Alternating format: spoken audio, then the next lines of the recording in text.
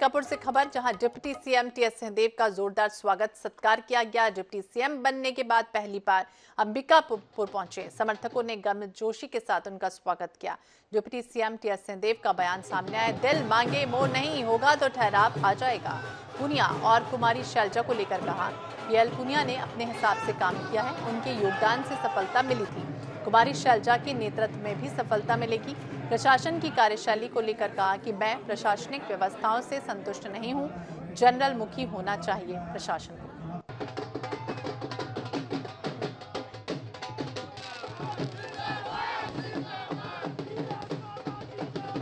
ये दिल मांगे मोर।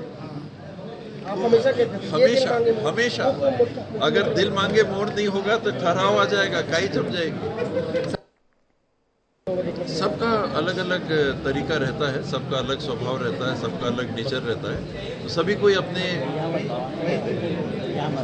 नेचर के हिसाब से काम करते हैं। पुनिया जी ने अपने हिसाब से काम किया और उनका भी जो योगदान मिला, आखिर सफलता की हम ओर गए। शैलजा जी आई हैं, वो उनके अपने तरीका है, वो अपने तरीके से काम कर रही हैं और हमें उम्मीद है कि उनके साथ काम करते हुए भी इस टीम को सफलता मिलेगी।